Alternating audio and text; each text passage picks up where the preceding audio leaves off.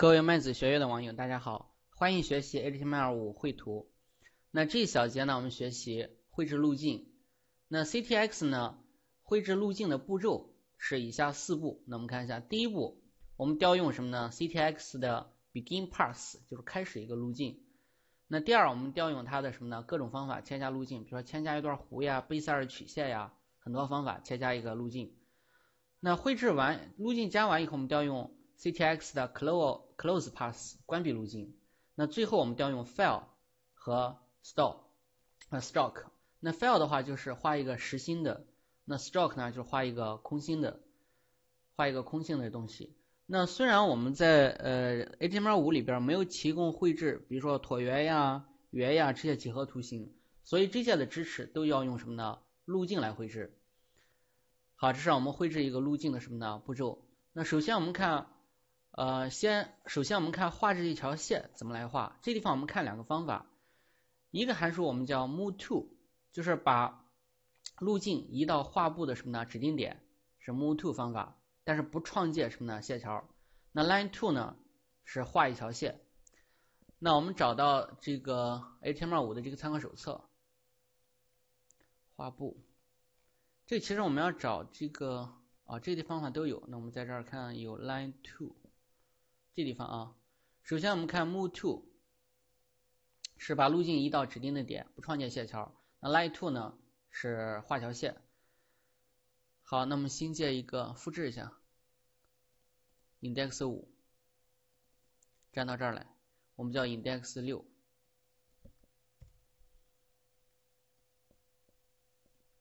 index 六确定，好，打开 index 六，前面这些呢我们都删掉。首先我们调用 ctx 点 move to，move to 呢先移到水平是八十像素，八十像素，两个坐标，然后呢 ctx 点 line to。画到什么地方呢？我们画到嗯两百像素乘两百像素的位置。我们开始一个路径之前，我们应该调用 ctx 点 begin pass。那我们添加了个路径，添加完以后，我们调用 ctx 点嗯 close pass。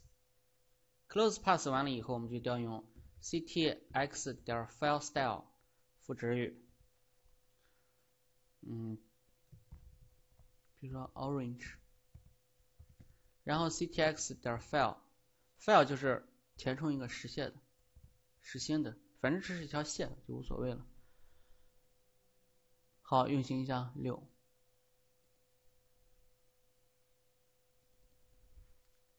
好，这儿有点问题。好，这儿有个问题，就是这个线呢，它没法填充，它就是一条线，所以不应该用这个方法，我们应该用。ctx 点 stroke style 画一条橘色的线，然后 ctx 点 stroke 这样来画条线。好，运行。哎，有问题，stroke 写错了啊，加个 e。这工具有时候提示不是很完整。好，这样就画了一个橘色的线。那我要设线的宽度的时候，我们可以设置一个 ctx 点 line width 等于十。好，这样就画了一个画了一条线。我们也可以设线的这个粗细，设小一点，五吧。好，刷新。可以设线的颜色等等。那接下来我们再看，这刚才是用了一个 move move to 和 line to，move to 和 line to 是怎样配合呢？是这样的，先把路径坐标移到这个地方来，八十八十乘到移到这儿来，移到 move to 呢并没有画线，line to 两百乘两百，line to 两百乘两百，那就是从八十到八十到两百乘两百这儿画一条线，这这两配合画一条线的这个方法。那接下来我们再看一个，我看看画一个，再画一个矩形吧。rect 是画矩形，那么再画一个矩形看一下，ctx 点 rect 不是 file rect，是直接是 rect。x 坐标呢，我们给上六十乘以六十，宽度呢是一百，高度呢四十五。画个矩形看看。啊，画矩形的话，我们得切出放到路径上去，Ctrl X Close Path 的时候。结束它运行，好，这样的画了一个矩形块。注意一定要注意这个顺序啊。Begin pass，然后填充路径，填充路径完了以后 close pass，然后再画。这是画了一个呃矩形，矩形的路径。那接下来我们再做一个啊画一段弧，我们再看一下 arc 它的用法，arc。是创建一段弧，创建一个曲线啊，弧的一部分，就画圆呀，可能会用到它。那怎么用的呢？我们单独写个程序来画圆。好，复制一下 index 六，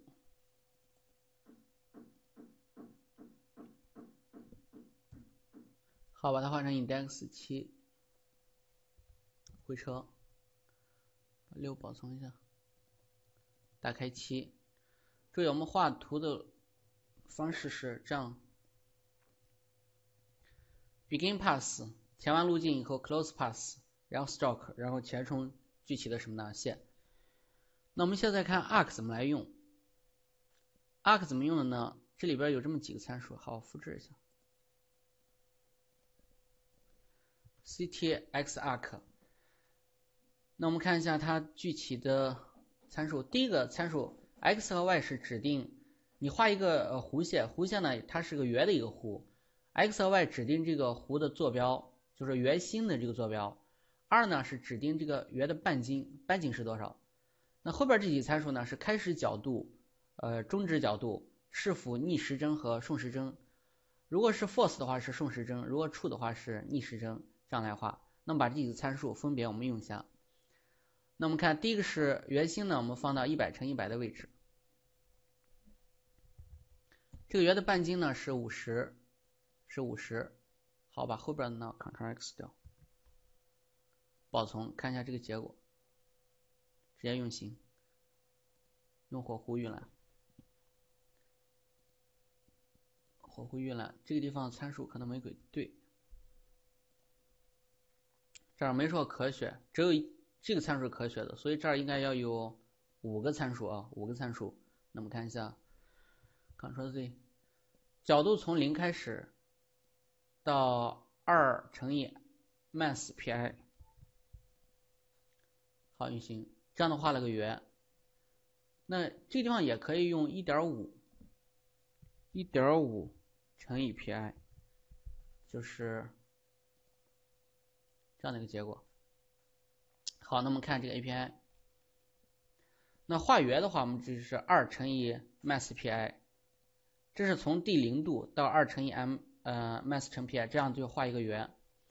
那注意看这张图，这个是零度，这是零点五 pi 度，这是一 pi 度，这是一点五 pi 度，那二 pi 度就到这儿了。那你要画多大的弧呢？由它来决定。这是我们画弧的这个方式。那我们再来个逆时针画一下，这地方也可以再增加另外一个参数。给成 true 的话就是逆时针画，啊顺时针画应该是顺时针画圆，false 的话就是逆时针画圆，false 好运行。好，那这个半径呢，比如说我给上八十，那就是更大了一点。好，这是画弧的方法。那这个呢，我们用一个把它俩注释掉。Ctx 点 filestyle 等于井号 ccc，ccc 是个灰色，ctx 点 file 它能不能填充呢？我们试一下，这就可以填充了。你直线的话是没法填充的，这个就可以填充了。好，这是我们 arc 就是画弧的这样一个方法。那这一小节呢，我们先讲到这儿。那下一小节我们继续学习。呃其他画画曲线的方式。